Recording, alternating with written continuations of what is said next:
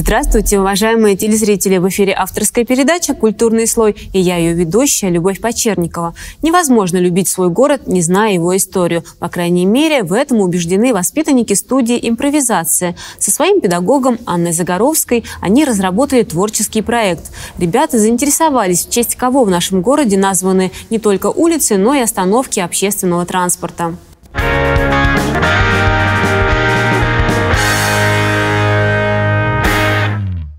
Начался проект вот с этой самой остановки, которую установили напротив детско-юношеского центра номер один, где занимаются ребята. Здесь поставили серую железную коробку. Ее вид наводил тоску и уныние. Так и родилась идея узнать, в честь кого же названа остановка и создать свой авторский проект. Личностью Юлиана Мархлевского заинтересовалась Анастасия Шугаль. На своем коллаже она изобразила полотна ткани, разместила фотографии газетные вырезки. Ведь Мархлевский был видным журналистом, редактором нескольких изданий. Юлиан Мархлевский был участником революции 1905 года. Был автором многих исторических сочинений и участвовал в создании группы «Спартака» в Германии. Сейчас не все дети, да и взрослые так сходу скажут, кем же был Мархлевский. А вместе с тем, такой проект, если его реализовать на практике, помог бы лучше узнать жителям свой город. Вслед за Мархлевским детей заинтересовали другие остановки. Ребята, может мы так посмотрим все остановки в городе, которые названы чьими-то именами. Узнаем историю каждой личности, узнаем дела этой личности, узнаем, что они для города сделали, потому что ведь не обязательно в этом городе было называть остановку именем этого человека, а, этого героя. Ведь можно было применить имя кого-то другого. Но если именно он, значит, что-то с Ивановым связано. И мы стали дальше эти материалы собирать. Свой проект Денис Малышев посвятил личности Богдана Хмельницкого, о котором до того, как начал создавать работу, практически ничего не знал. Это довольно знаменитая личность, и я был весьма крайне удивлен, что он не был родом из нашей страны. Это был украинский гетман, который воевал за нашей границей. Э, для начала он был как прислужник польского короля, и воевал против нас, но в итоге э, его заслуги весьма помогли нам. Он присоединил большую часть Украины к Российской империи. Самое сложное в этом проекте оказалось не просто собрать необходимую информацию, а придумать интересный визуальный образ. Так, на проекте оформления остановки, посвященной украинскому поэту и художнику Тарасу Шевченко, Настя Шилова изобразила палитру и пегаса как символ поэтического вдохновения. На тот момент, когда он родился, это называлось, ну, страна называлась Российской империей, а на данный момент она разъединилась на Украину и Россию, поэтому тут символы Украины – это поле подсолнухов и России – березы. Еще ребят заинтересовали личности маршала Василевского, Александра Радищева, графа Шереметьева. Неспроста одному из центральных проспектов города вернули это имя. Николай Петрович Шереметьев очень интересная личность, так как он очень многое сделал. К примеру, у него был свой собственный театр. А, специально для него написали план воспитания молодого кавалера. Также у него есть, в честь него есть собор – Проект оформления остановок этой мастерской не единственный, скорее один из многих. Не так давно ребята стали победителями творческого конкурса «Мы рисуем историю», который проводил Государственный исторический музей. По случаю юбилея учреждения ребята нарисовали 12 работ, связанных с крупными историческими датами, и оформили их в виде календаря. Каждый рисунок был создан в стиле лаковой миниатюры. События, отраженные в этом календаре в рисунках детей, это исторические события, связанные со всей Россией. А Палехская миниатюра – это все-таки наше достояние нашей области, а потом уже дальше всей России. Пока проект оформления остановок существует лишь на бумаге. О реализации этой идеи на практике ребята не задумывались. Хотя на красиво оформленной остановке гораздо приятнее ждать транспорт и назначать друг другу встречи.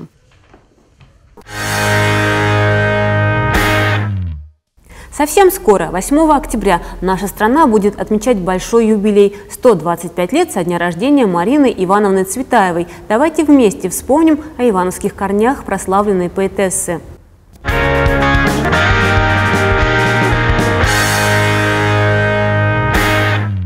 Красную кистью рябина зажглась, Падали листья, я родилась.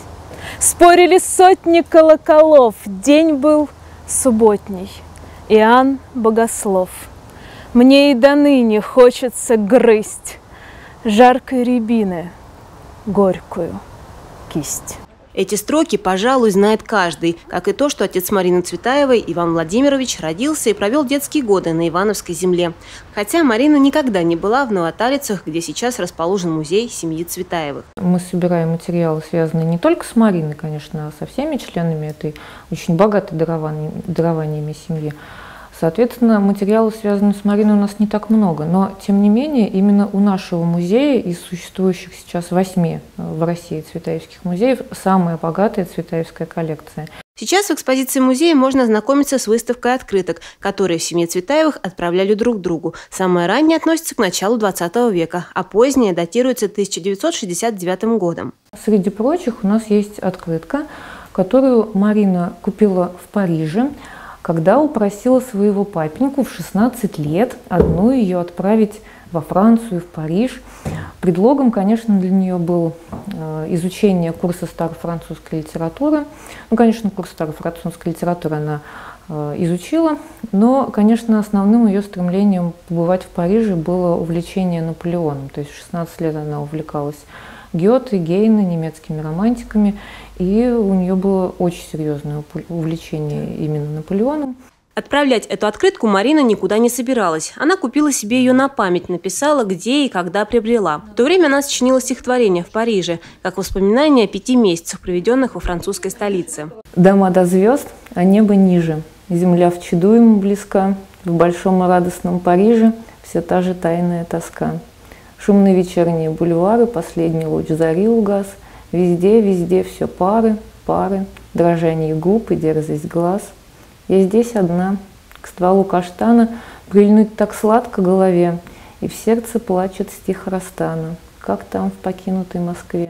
Не все цветаевские экспонаты в музее за стеклом. В одном из залов главного дома есть альбом, посвященный Марине Ивановне. Листая эти страницы, можно проследить всю жизнь поэтессы, начиная с самых ранних фотографий, где Марине не было и года. Дача, которую они снимали в Таруси, с которой у нее связаны очень теплые детские воспоминания. Это был очень счастливый период ее жизни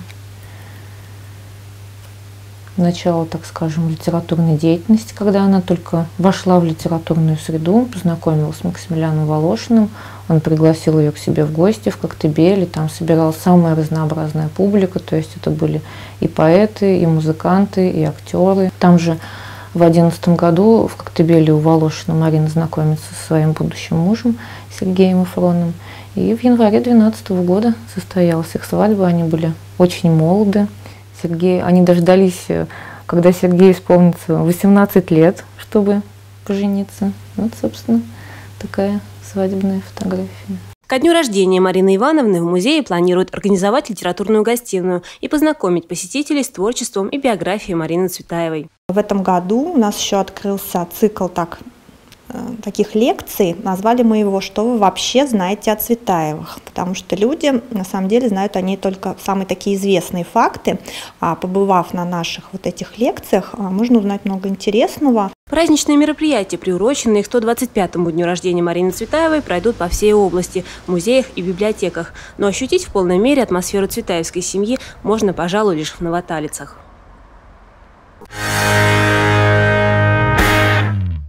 Ивановский музей камня богат на интересные экспонаты. Один из них – изразец 18 века. Сотрудники учреждения в буквальном смысле слова спасли от разрушения. Как это произошло, расскажем в нашей рубрике «История одного экспоната».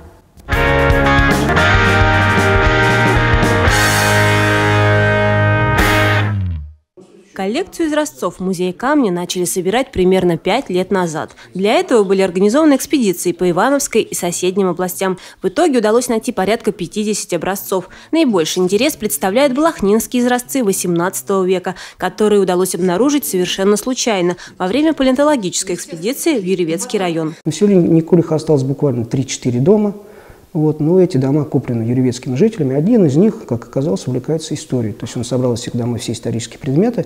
Но вот как парадоксально, несмотря на то, что он увлекается историей, почему-то он весьма скептически относится к печам с украшением из изразцов. Вот не нравится ему печь, ему больше нравится белая печь, такая чистая, деревенская. И он эти изразцы снял, выложил их перед баней в несколько рядов, И его многочисленные детишки занимались тем, что бросали в них камушками в качестве мишени. Так балахнинские изразцы оказались в музее камня. Стоит отметить, что мастера из Балахны славились на всю страну. В том числе они создавали архитектурные изразцы для украшения храма Василия Блаженного в Москве. Вот эти вот печные изразцы с таким своеобразным рисунком цветовой гаммы, зеленый и желтый, это довольно редкие изразцы, как раз где-то вторая половина XVIII века. Это уже такой характерный вазон с цветами. Вот, с таким уже, как бы они долгое время украшали печь. Я думаю, что печь они украшали очень и очень хорошо. По крайней мере, в нашей коллекции они занимают достойное место. К слову, в коллекции столичного музея прикладного искусства есть всего один такой изразец. Вот такая история.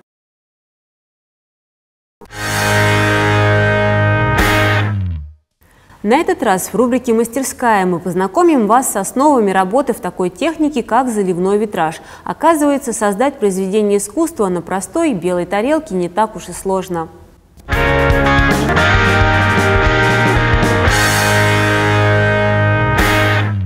Расскажите, пожалуйста, про особенности работы в витражной технике. С чего она начинается? А, техника, которую мы сегодня с вами будем осваивать, называется заливной витраж. А, в этой технике используются а, контуры по стеклу и керамике и специальные водорастворимые краски, прозрачные. Сначала мы наносим на нашу поверхность обезжиренную перед э, нанесением рисунка тот рисунок, который нам понравился. А затем берем контур любого цвета, их сейчас очень много, и начинаем по этому нашему рисунку наносить контур. Э, вот таким контуром с длинным носиком работать удобнее всего. Касаемся поверхности носиком контура и начинаем потихонечку давить на наш тюбик. Кто начинает первый раз этим заниматься, я обычно говорю, что можно линию прерывать. Ничего страшного в этом нет. В этом вся прелесть ручной росписи. Почему называется заливной витраж? Заливным он называется, э, потому что красочки наши жидкие, то есть он отличается от техники настоящего э, витража стеклянного, где используется свинцовый контур – и э, окрашенные стекла. Вот посмотрите, мы нанесли с вами вот такой контур на нашу тарелочку. Можем теперь... Работаем мы, кстати, э, от середины.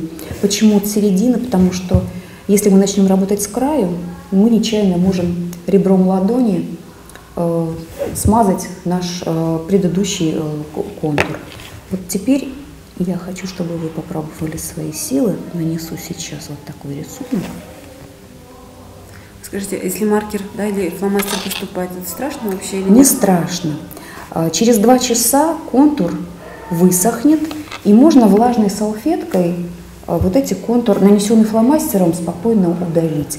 Пожалуйста, можете попробовать свои силы. Мы начинаем давить вот отсюда с хвостика, как я говорю детям.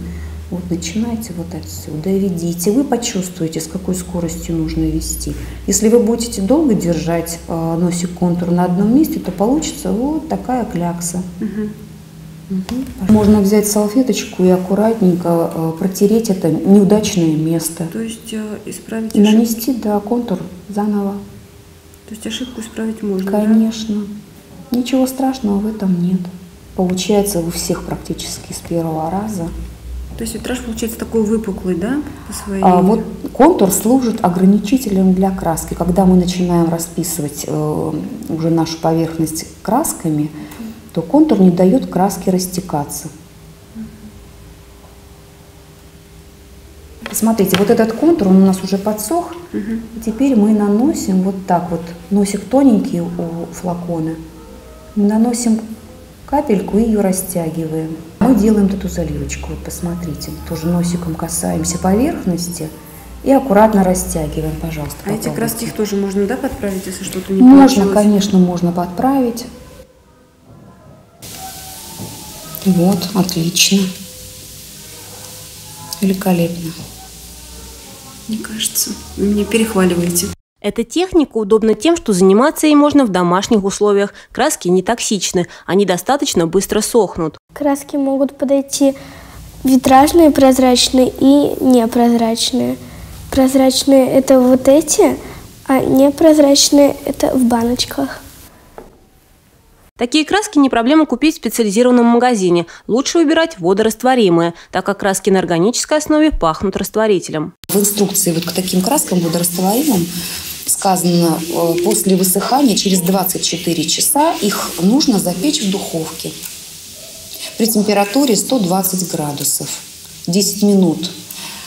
После такой термической обработки такую красивую тарелочку можно мыть. Небольшую по размеру керамическую основу можно расписать всего за час неспешной работы. Времени потребуется больше, если замысел объемы работы масштабные, как, например, у Насти Забываевой. Море на закате плавают дельфины, как и весь океан. Я часто бываю на море и вижу их там. Чтобы работа получилась красивой, краски не стекали и было проще рисовать, для первого раза лучше выбирать плоскую тарелку или стекло.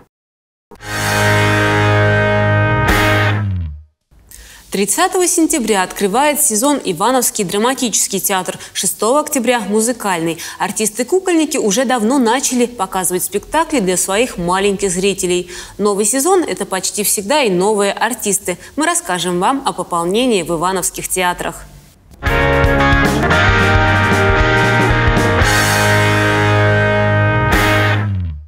Новые лица на сцене. К предстоящему сезону труппы всех ивановских театров обновились на 10-20%. В драматическом театре сегодня молодые, молодежь – это 40%, в музыкальном 30%, а вот в театре кукол и в Кенишемском театре молодые артисты сегодня – это 50%. Этим летом в театр кукол пришли работать две выпускницы Ярославского театрального института. Марина Топоркова и Людмила Таскина закончили вуз с отличием. Мама работала в театре, и как-то я вот это все ходила за кулисами, там вот э, смотрела, как выступают актеры, и захотелось тоже, наверное, вот в самом-самом ран раннем детстве. Сейчас молодые актрисы вводятся в спектакль-концерт без лишних слов. Репетиции идут полным ходом. Мне посоветовали мастера этот театр, потому что он на хорошем уровне.